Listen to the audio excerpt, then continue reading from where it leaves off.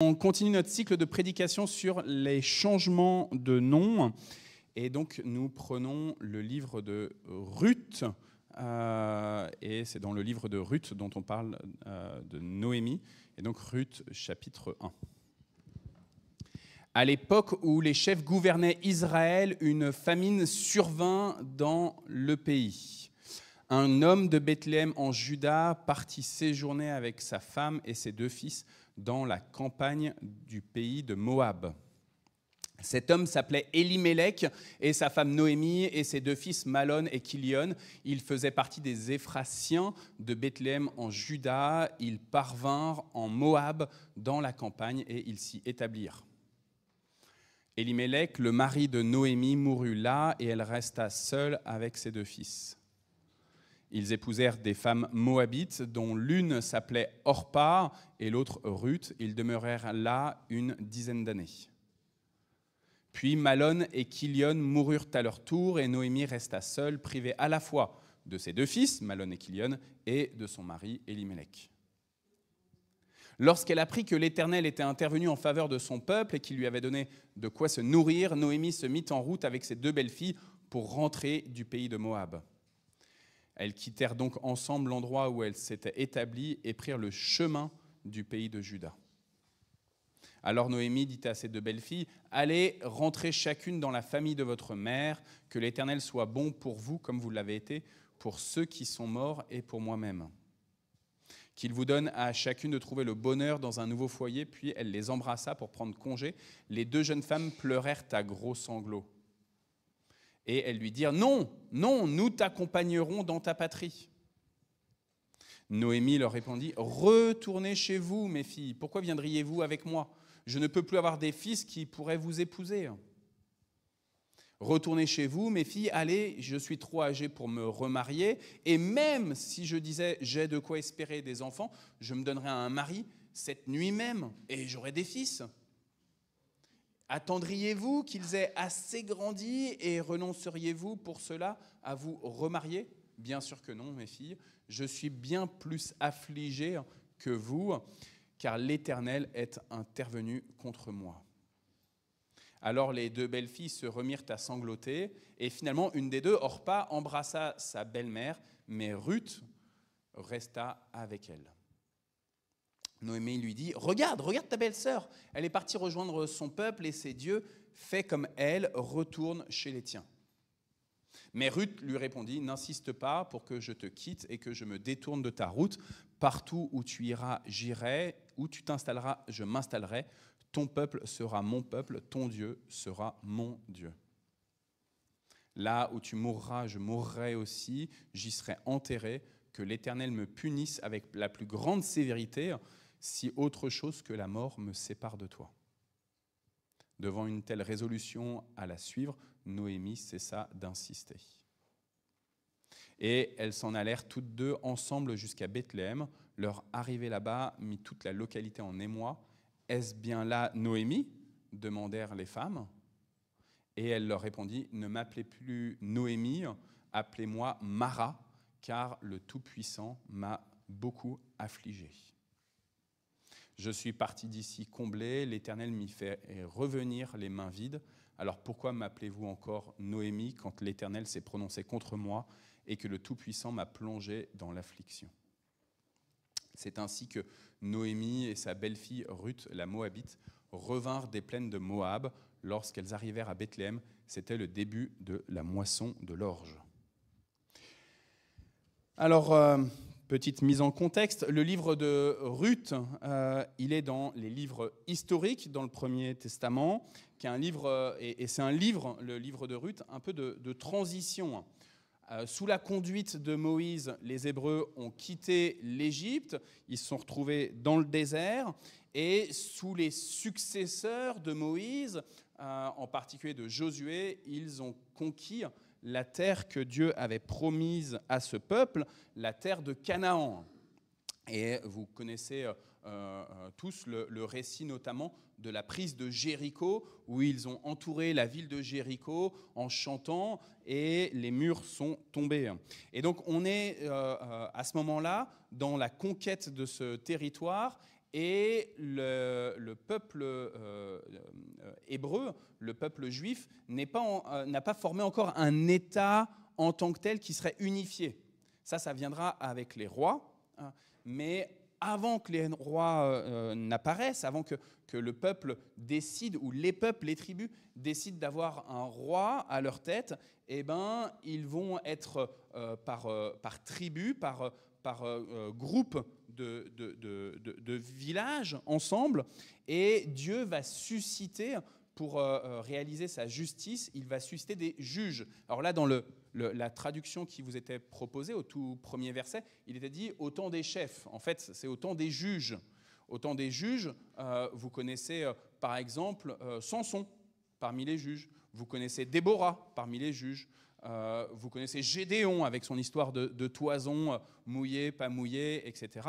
Il y a un certain nombre de, juges comme ça qui sont suscités par, euh, par Dieu. Et dans cette période du temps des juges, eh ben, il y a donc une famine à Bethléem d'Ephrata. Si vous avez l'habitude de venir à l'église au moment de Noël, on raconte régulièrement un passage de Ésaïe qui vient nous dire que à Bethléem d'Ephrata, eh ben, euh, va naître le Messie. Bethléem d'Ephrata, Bethléem, ça veut dire la maison, Beth, Léem, du pain. Et à Bethléem d'Ephrata, eh ben, justement, on manque de pain. C'est la famine. C'est ce qui se passe là. On est au temps des juges, on n'a pas encore de roi, et c'est la famine à Bethléem d'Ephrata. Et donc il y a cette, euh, ce, couple-là, cette famille-là, avec euh, Noémie, l'épouse, et Elimelech, l'époux, qui disent, ben, puisqu'il y a famine, il faut qu'on subvienne aux besoins des nôtres. Et on a deux garçons, et donc comment est-ce qu'on subvient à nos besoins? Une première possibilité, ce serait de prier Dieu. Peut-être que c'est ce que vous faites avant chaque repas, que vous exprimez une action de grâce à Dieu. Merci Seigneur que ce pain qui est sur notre table, Bien sûr que c'est moi qui suis allé à la boulangerie l'acheter, mais en fait, je veux reconnaître derrière que c'est toi qui as subvenu à mes besoins. Sauf que là, ils vont pas prier Dieu, Elimelech et Noémie, ils vont décider de, de migrer, de partir dans un endroit où on sait qu'il y a de la nourriture. Peut-être que parmi vous, peut-être que dans vos familles, il y a des gens qui ont décidé de changer de localité, de changer de pays, parce qu'il y avait un endroit qui était plus propice à subvenir à leurs besoins. Besoins physiques, mais peut-être aussi euh, euh, besoins intellectuels. Je sais que si je change de pays, eh ben, je pourrais faire des études, des études meilleures que si je reste dans mon pays. Et donc là, on a ce couple-là avec leurs deux garçons. On ne sait pas trop quel âge ils ont à ce moment-là, Malone et Killian, euh, mais avec les, deux, ils vont, euh, partir, changer de pays. Et ils vont pas n'importe où, ils vont aller dans le pays de Moab. Donc là, on est dans le sud. Si vous reprenez la carte qui est euh, euh, au-dessus de la tête de, Nicolas, il y, a, une partie en jaune, le territoire de Juda. On est vraiment dans, le sud là. Et à Bethléem, si on, si, on, si on trace une, une, une, une droite horizontale, eh ben, on arrive sur une mer qu'on appelle la mer morte. Et une fois qu'on traverse cette mer morte, eh ben on est sur le territoire de Moab. Elimelech et Noémie, ils décident de quitter le territoire qui avait été donné par Dieu, promis par Dieu, territoire où coule le lait et le miel. Ils ont décidé, parce que là, ils vivent un temps de famine, et parce que ils ont la possibilité de bouger, ils ont la possibilité de, de, migrer. Ils décident de quitter ce territoire et de passer la mer morte. Et ils arrivent en pays de Moab. Les Moabites, ce ne sont pas les amis des Hébreux. Les Moabites, c'est un peuple, nous raconte la Genèse, qui est lié à leur euh, euh, Moab, qui est lié à un inceste euh, primitif. À savoir que Abraham, il avait un neveu qui s'appelait Lot. Hein, vous connaissez l'histoire de Abraham et de, Lot. et, Lot, il se trouve dans une ville, Sodome, qui va être condamné pour ses malversations, pour, euh, pour son péché, qui, qui va être pulvérisé complètement. Et, et, il avait choisi de s'installer là-bas parce que c'était beau, c'était plaisant, c'était un territoire qui, qui, qui, vraiment euh, euh, l'attirait. Et sauf que Lot, il va avoir deux filles, mais pas de, pas de garçons. Et, et, et, ces filles, eh ben, elles vont pas avoir de mari.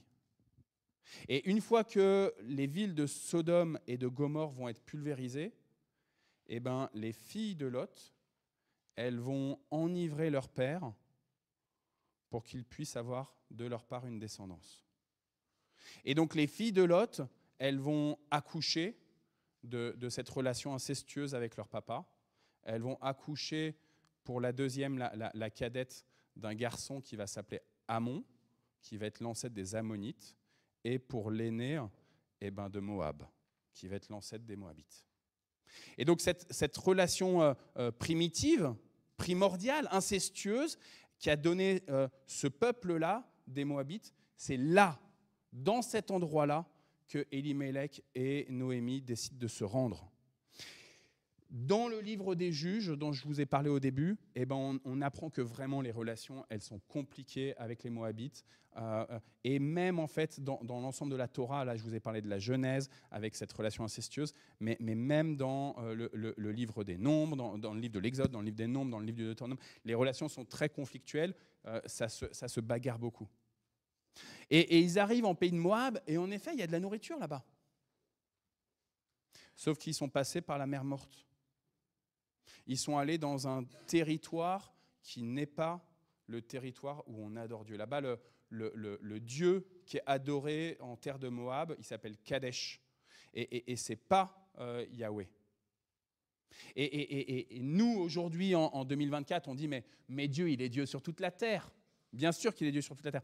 Mais à cette époque-là, on croit vraiment qu'il y a des territoires qui, appartiennent à une divinité particulière. En Kabylie, ce n'est pas la même chose que dans le Mantoir. C'est ce qu'on pense à cette époque-là. Aujourd'hui, non, on dit en Kabylie, comme en Angola, euh, Maureen, euh, eh ben, il n'y a qu'un seul Dieu. Le Dieu euh, dont le Fils est Jésus-Christ. Mais à cette époque-là, on pense que non, à Moab, c'est pas Yahweh qu'il faut adorer, c'est Kadesh. Et donc ils partent là-bas et le malheur commence à arriver. Le chef de famille, le mari de Noémie, il n'a pas n'importe quel nom, il s'appelle Elimelech. Eli, ça veut dire mon Dieu, Melech, ça veut dire le roi. Et donc il porte, lui, le chef de famille, il porte, lui, l'époux de Noémie qui, doit diriger sa famille, qui doit conduire sa famille vers le Dieu unique, qui doit, respecter les règles et les commandements que Dieu a donnés à son peuple, à travers Moïse, mais, à, travers tout le, tout, le reste du peuple aussi, eh bien, lui va mourir. On passe la mer morte, on arrive dans un lieu où ça sent qu'il y a de la nourriture, on voit qu'il y a de la nourriture, qu'on sort de la famine. Ça y est, c'est, le lieu qui est pour nous. On, y croit, on y croit. Et finalement, Élie-Mélec, mon Dieu est roi, il meurt. Les fils se marient, mais ils n'ont pas d'enfants. On apprend qu'ils restent au total sur une dizaine d'années euh, euh, là-bas, en territoire de Moab. Alors, est-ce que les fils se sont mariés tout de suite? Je ne suis pas trop convaincu. Les commentateurs disent qu'ils sont plutôt arrivés plutôt jeunes, euh, Malon et Killian. Et, du coup, ils n'étaient pas encore tout à fait en âge de se marier. Mais il y en a d'autres qui disent le, le texte biblique n'est pas si clair que ça, et peut-être qu'ils se sont mariés tout de suite, et qu'au bout de dix ans, ils n'avaient toujours pas d'enfants. Ruth, Ruth et Orpa, elles, elles n'enfantent pas. Alors, est-ce que c'est de la faute des époux est-ce que c'est de la faute des épouses? À ce moment-là, on n'en a aucune idée. En tout cas, il n'y a pas de descendance. Il n'y a pas de descendance. Et le malheur continue, vous l'avez entendu tout à l'heure, puisque les deux fils de Noémie meurent. À vous dire vrai, je vous ai parlé de Elimelech, le papa. Je vous ai parlé de la traduction de son nom, mon Dieu est roi. si on vous donne la traduction des prénoms des deux garçons, eh ben, vous m'auriez dit, Arnaud, ben, en fait, c'était clair qu'ils allaient mourir. Le premier s'appelle maladie et le deuxième s'appelle désastre.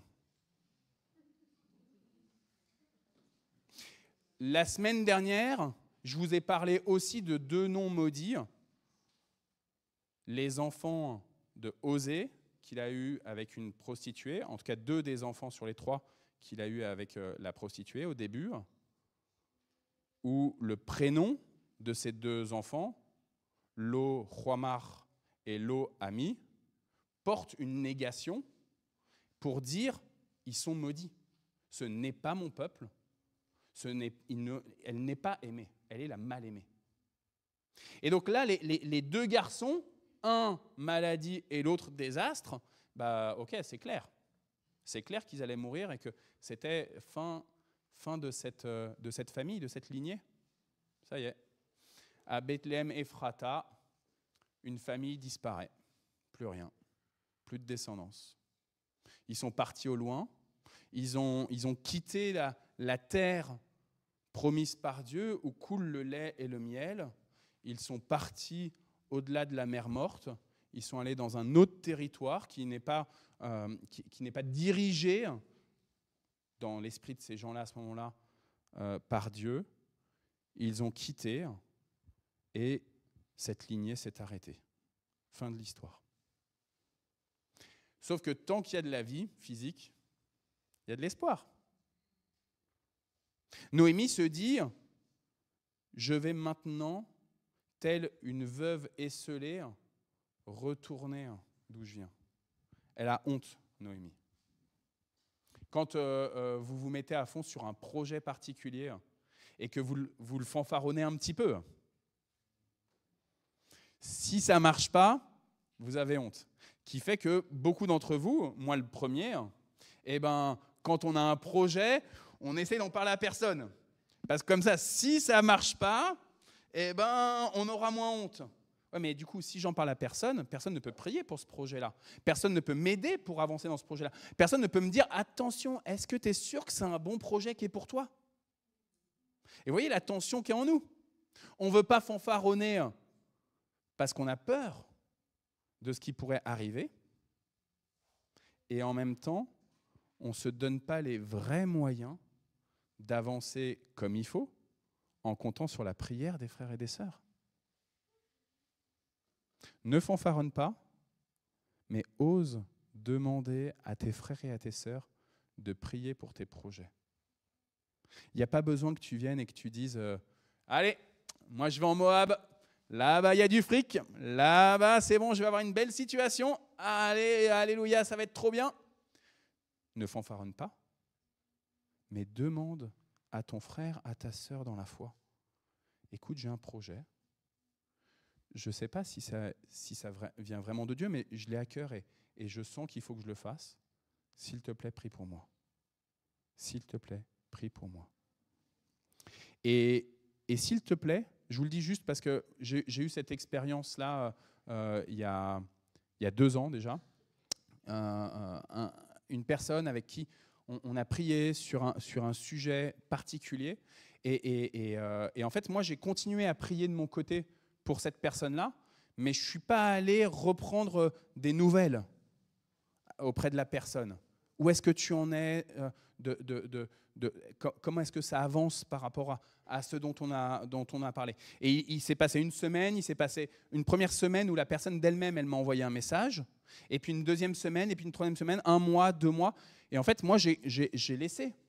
Et en moi-même, en tant que pasteur, je me disais, si la personne, elle veut me donner des nouvelles, elle va me donner des nouvelles. En attendant, moi, je continue mon petit temps de prière pour elle. Sauf que je ne savais pas comment la personne, elle évoluait ou pas. Et c'est un an après que j'ai appris que malheureusement, eh ben, la personne, elle avait euh, de, la, colère et de la, de la rancune à mon égard. Parce que du coup, je n'avais pas pris soin d'elle en, ne prenant pas de ses nouvelles. Moi, j'avais l'impression que c'était bon, je continuais de prier, mais en fait, la personne, elle se disait, mais c'est comme si, si ma situation ne, le regardait pas, parce qu'en en fait, la personne, elle n'est pas dans, dans mon intimité, dans mon temps de prière avec le Seigneur. quand un frère ou une sœur vous confie un projet, essayez, et, je, le dis avec humilité, vous voyez, parce que je, crois que je ne suis, suis pas très très bon pour ça. Mais essayez au maximum de reprendre des nouvelles. Où t'en es par rapport à ça? Où est-ce que euh, ton enfant, il a créé une entreprise, il fait ceci, il fait cela Où est-ce que ça en est? Où est-ce que tu en es dans, dans comment ça avance tout ça? Et, la personne, euh, elle va pas avoir l'impression que vous êtes juste intrusif. Hein. Elle va avoir le sentiment que vous prenez vraiment soin d'elle. Que vous prenez vraiment soin d'elle. Alors, je reviens sur Noémie, parce que tout ça, c'était normalement plutôt mon introduction, mais je suis long. Euh, mais, Noémie, elle revient, elle a honte. Elle est, elle est malheureuse, elle est veuve, elle est, elle est, apeurée. Il y a quelques années, avec Isabelle, on a été au château de Chenonceau. Et euh, au château de Chenonceau, eh ben, il y a une chambre qui est toute noire. Et cette chambre, Françoise a été. Euh, et, cette chambre, elle est toute noire parce qu'il y avait une femme. Alors, je me suis noté, c'était quelle C'était la, veuve de Henri III. Tu te souviens, euh, Steve, c'est qui la veuve de Henri III C'était Henri III, je crois, non? Henri II Bon, c'est pas grave. Diane de Poitiers, c'est ça, super, merci beaucoup. Ça m'évite de retrouver. Euh, il nous faut toujours un prof d'histoire euh, dans la poche, tchac. Euh, heureusement que tu es là, mon Steve. Diane de Poitiers, et donc, en fait, elle a, perdu son mari. Et du coup, au château de Chenonceau, elle a complètement repeint l'ensemble de la pièce. C'est tout sombre.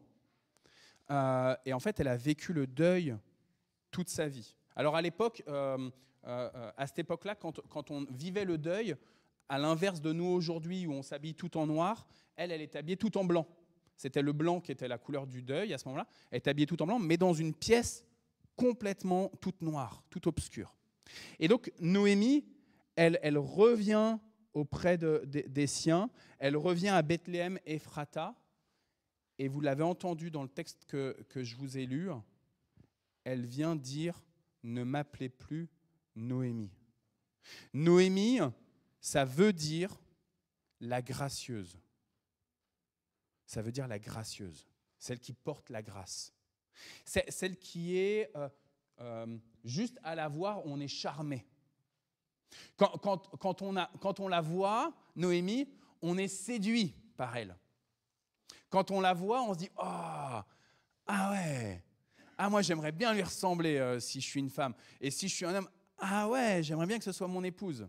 On, est tout de suite séduit par elle parce qu'elle porte, elle, elle, elle, elle, respire la grâce. Et elle vient et elle dit, ne m'appelez plus Noémie, je ne suis plus la gracieuse, je ne suis plus, là tout à l'heure dans la traduction c'était marqué l'heureuse, mais ce n'est pas tout à fait juste en fait, c'est vraiment cette notion de, de, grâce qui transpire. Je ne suis plus Noémie la gracieuse. Désormais, je suis l'affligée. Je suis celle qui est amère. J'ai une amertume en moi. Je suis amère. Et, elle dit, maintenant, vous m'appellerez d'un nom nouveau, vous m'appellerez Mara. Vous m'appellerez, elle dit ça aux femmes de Bethléem, d'Ephrata, qui l'ont reconnue. Hein.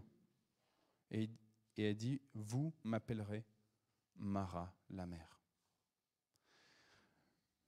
C'est terrible.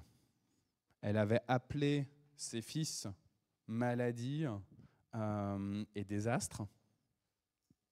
Et, elle, elle revient et elle est... Euh, l'image que j'ai, c'est celle d'un mort-vivant, en fait. Elle vient tel un zombie.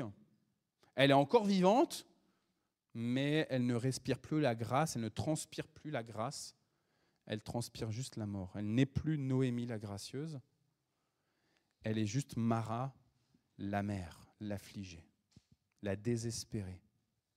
Il n'y a plus rien. Et donc après, il y a ce dialogue euh, avec Orpa, euh, euh, avant, pardon, il y, avait ce dialogue avec Orpa et avec Ruth pour savoir si elle l'accompagne à revenir à Bethléem d'Ephrata, si elle, quitte Moab ou pas. Orpa, la, femme de désastre, elle est restée à Moab, mais Ruth, elle, la femme de maladie, elle est venue avec elle. Et, c'est intéressant là de se dire que alors qu'elle est, est dans l'affliction, alors qu'elle dit aux femmes de Bethléem d'Ephrata, Appelez-moi maintenant l'affligée, la mère. Je n'ai plus rien. Je n'ai plus rien euh, euh, euh, pour vivre. Je ne suis plus rien. Quand elle donne ce nouveau nom, elle vient dire Je ne suis plus rien. Alors, elle, est, là, et en fait, elle est accompagnée de cette belle fille. Et, et- et- et cette belle fille, elle va être le moyen utilisé par Dieu pour restaurer Noémie. Noémie, elle dit aux femmes de Bethléem d'Ephrata, appelez-moi Mara. Et en fait, dans les quatre chapitres euh, du livre de Ruth, c'est un livre qui se lit très très vite, hein, vraiment, quatre petits chapitres, et ben, c'est le seul endroit où on parle de Mara quand elle dit aux femmes de Bethléem d'Ephrata, appelez-moi Mara. Après, ça ne revient pas. Tous ceux qui vont euh, parler avec, euh, avec Noémie, ils vont pas l'appeler Mara.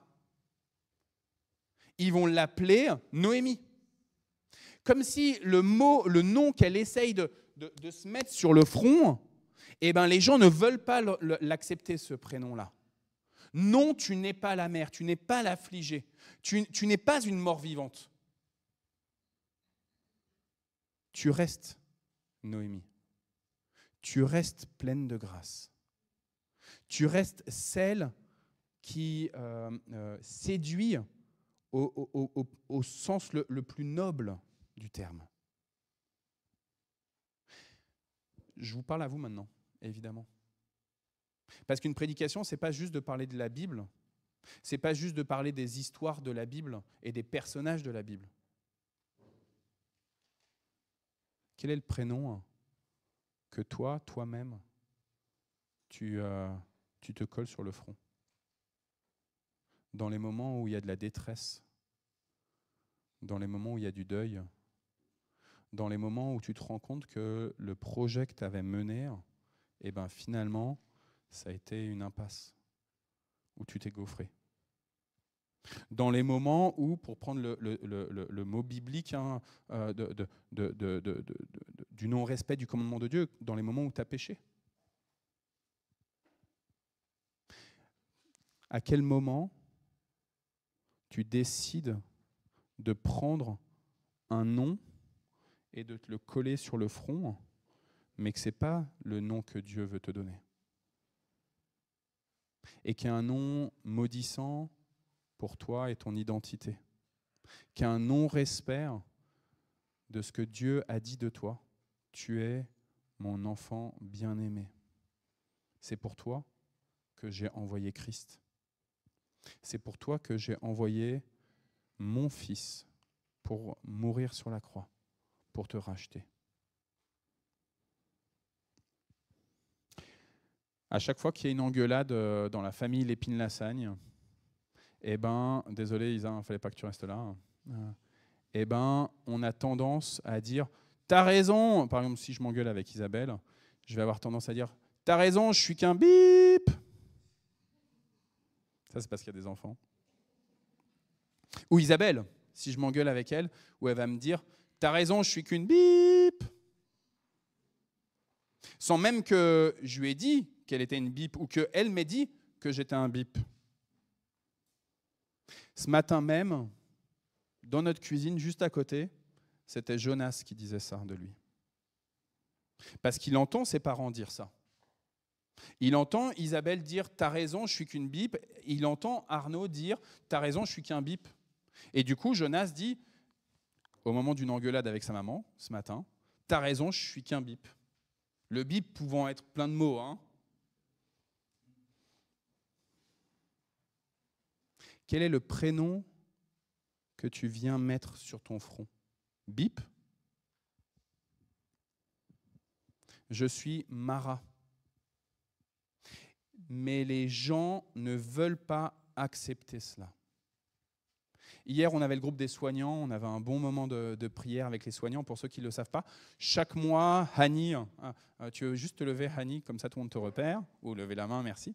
Euh, Hani, euh, il est responsable d'un groupe de prière pour ceux qui sont dans le soin dans, le soin de la personne. Donc, euh, il y a des infirmières, il y a des, euh, euh, auxiliaires puères, il y a des médecins.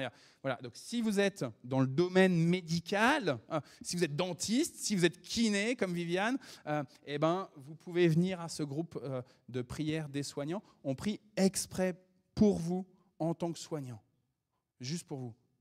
Et, et, là, la nouveauté de cette année, c'est qu'on vient de faire la même chose, mais avec un groupe pour les profs. Donc si vous êtes euh, prof, si vous êtes euh, enseignant, eh ben, on vient de créer un groupe euh, pour vous, les profs, les enseignants, pour prier entre vous sur vos sujets, dans la confidentialité d'un groupe de prière. Et si vous n'êtes ni prof ni soignant, eh ben, heureusement qu'il y a Patrick qui, tous les mardis, il vous propose le groupe de prière par Zoom ou au temple quand ce n'est pas les vacances scolaires. Il y en a pour tout le monde, en fait. Pour pouvoir se confier, pour pouvoir dire, OK, j'ai tel projet ou j'ai telle problématique, et je ne veux pas le garder juste pour moi. Et je ne veux pas compter que sur mes propres forces.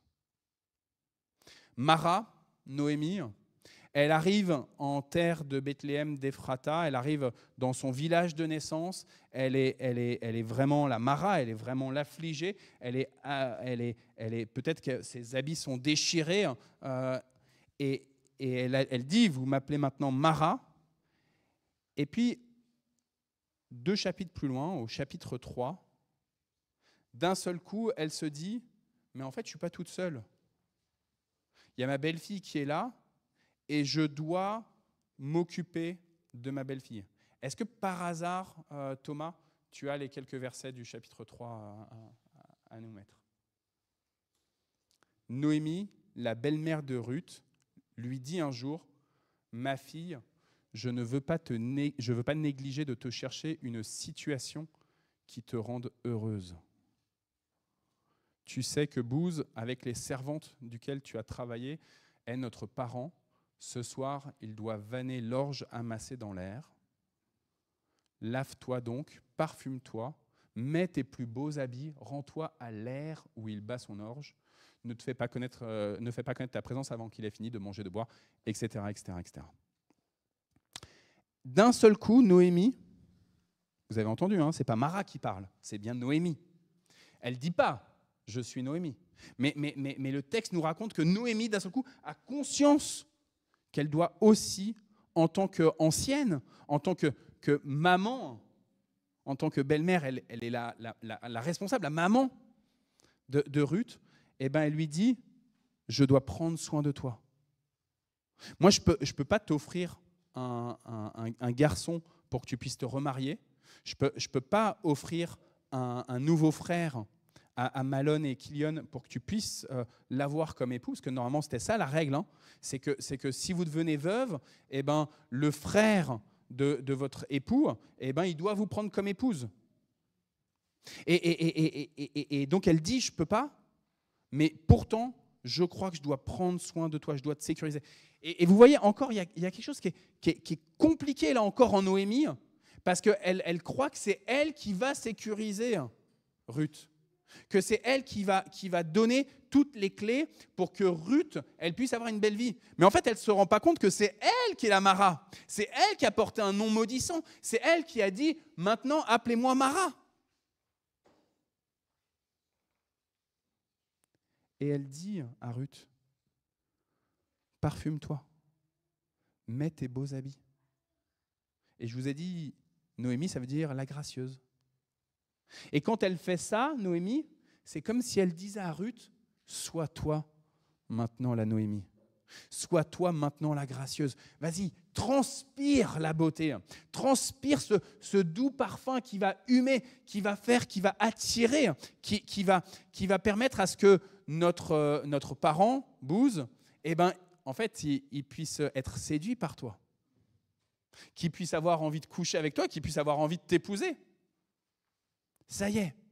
Je sais pourquoi on est revenu à Bethléem Ephrata, c'est pour que tu puisses trouver comme époux Bouze, que, que, lui sera ton époux, et je te donne toutes les clés. Mais vous voyez, il y, a, il y, a, souvent des moments où on est prêt à donner des clés aux autres, mais on ne comprend pas que c'est d'abord pour nous, peut-être. Que c'est d'abord nous qui, qui, devons réenlever cette étiquette, ce mauvais nom qu'on s'était donné. Tout à l'heure, je vous parlais des groupes de prière. Hier, donc, groupe de prière des soignants, on est ici. Et au groupe de prière des soignants, je redis quelque chose que je redis souvent, à savoir, je ne suis pas un bon prédicateur. Je suis un mauvais prédicateur. J'en ai eu encore la preuve, me semble-t-il, cette semaine lorsque j'ai prêché pour les obsèques de l'époux de Ida. Et, je, dis ça hier au groupe des soignants avec toute ma fragilité. Je vous ai dit, c'est un, groupe où on parle, où, tout ce qui se dit reste dans le groupe. Là, je vous parle de moi-même. D'accord? Je ne vais pas parler de ce que les autres ont dit, hein, je vous parle que de moi-même. Et, donc je dis ça, je dis, je, pense vraiment que je suis un mauvais prédicateur, et, des réactions m'ont laissé penser ça à nouveau jeudi à, à, la suite de cette cérémonie d'obsèques. J'ai dit à Isabelle le soir, je dis, il n'y a personne qui m'a dit merci à la fin du culte. Et, je dis ça pour, parce, que, parce que du coup, le fait que personne me dise merci, en fait, ça a remis une espèce de, faille en moi de dire, ah, bah t'as raison Arnaud que tu es un mauvais prédicateur. Personne ne te dit merci. Et, mais le fait que je le dise à Isabelle, eh ben, ça m'a fait prendre conscience de cette fragilité qui fait que je dis je suis un mauvais prédicateur, mais en fait, profondément, j'attends que vous me disiez Arnaud, tu es un super pasteur, un super prédicateur. Et vous voyez la tension qu'il y a en nous-mêmes. Et je dis ça hier au groupe de prière des soignants, et il y a une sœur du groupe de prière des soignants qui dit Arnaud, stop, tu arrêtes de dire ça sur toi. Arnaud, ce, nom-là que tu essayes de t'accrocher sur le front de mauvais prédicateur, tu l'enlèves, tu l'arraches. Parce qu'il n'est pas, pas juste avec ce que Dieu dit de toi. Il n'est pas juste avec ce que Dieu dit de toi. Et oui, on comprend que, tu veux être humble et que tu as peur de, gonfler ton orgueil, à dire Ouais, je suis un super prédicateur. Mais, mais, mais au-delà de, de, de, cette, de cette humilité à laquelle tu aspires, tu viens prendre une étiquette qui n'est pas bonne pour toi. Tu viens mettre un nom sur toi, celui de Mara, alors dans un autre contexte évidemment, vous avez bien compris, mais tu viens mettre quelque chose sur toi qui n'est pas juste, qui ne correspond pas à ce que Dieu dit de toi. Et donc là, Noémie, elle est avec ce nom de Mara qu'elle s'est collée sur le front. Et elle a dit, appelez-moi Mara.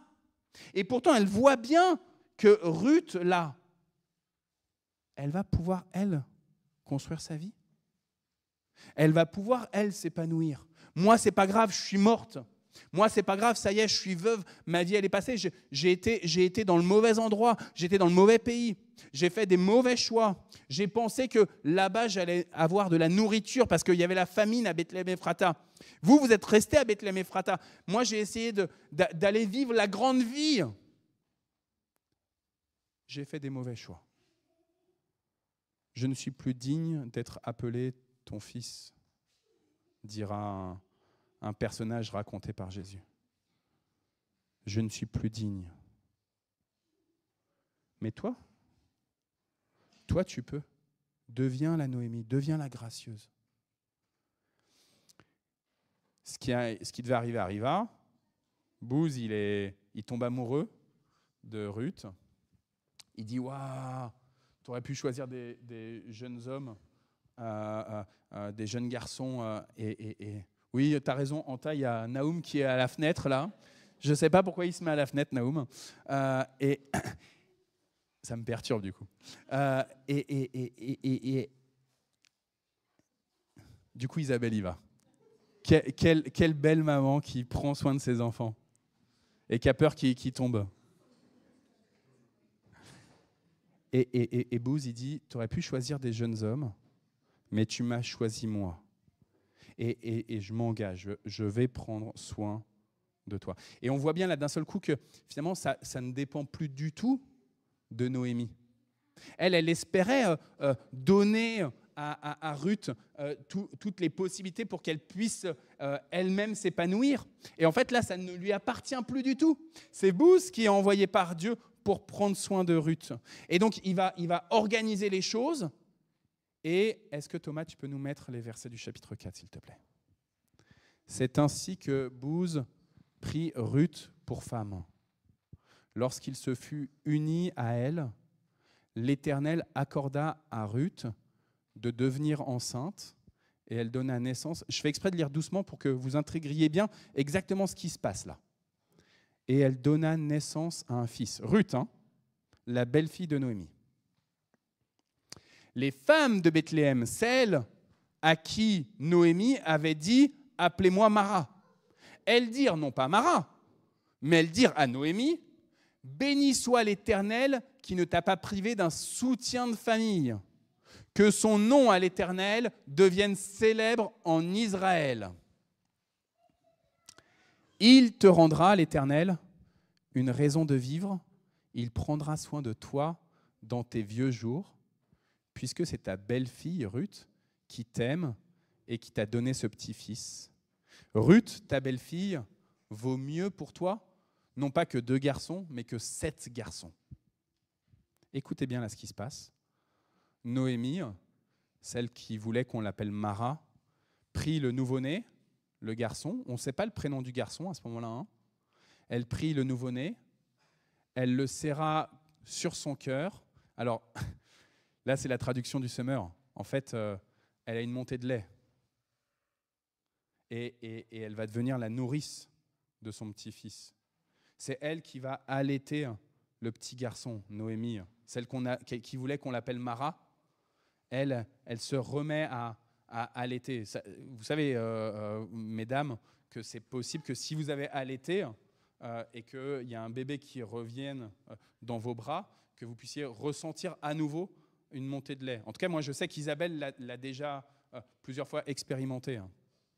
Et, et c'est elle, Noémie, qui se chargea d'élever ce petit garçon. Donc elle devient sa nourrice. Et le verset suivant les voisines, les femmes de, Bethléem Ephrata, à qui Noémie avait dit Appelez-moi, appelez-moi la mère, appelez-moi Mara, appelez-moi, et qu'elle ne l'avait pas appelée Mara. Elles s'écrièrent Noémie a un fils, et ces femmes-là, elles donnèrent un nom à, ce, à cet enfant. C'est elles, elles n'ont pas accepté d'appeler Noémie Mara, mais elles acceptent, moi je crois que c'est par l'Esprit du Seigneur, elles acceptent de nommer ce garçon. Et ce garçon, il s'appelle Obed, ça veut dire celui qui va servir, celui qui va être serviteur, servant, celui qui va permettre à ce que, à ce que les autres puissent euh, euh, s'épanouir, puissent grandir, puissent être bien, puisqu'ils vont pouvoir être bien grâce à lui, grâce à Obed. Et on apprend que Obed, est le père ensuite, plus tard, d'un homme qui s'appelle Isaïe, ou Jessé aussi, et que Isaïe ou Jessé, il va être lui-même le père de David, le roi David, et que lui-même, il sera un des ancêtres de celui qui est le serviteur parmi les serviteurs, celui qui permet que vous soyez épanouis, celui qui permet que les noms que vous avez essayé de vous coller, Mara ou autre, sur votre front, Bip ou autre, eh ben, il puisse être ôté. Oui, désormais par Jésus-Christ. Vous êtes vraiment des graciers de Dieu. Amen.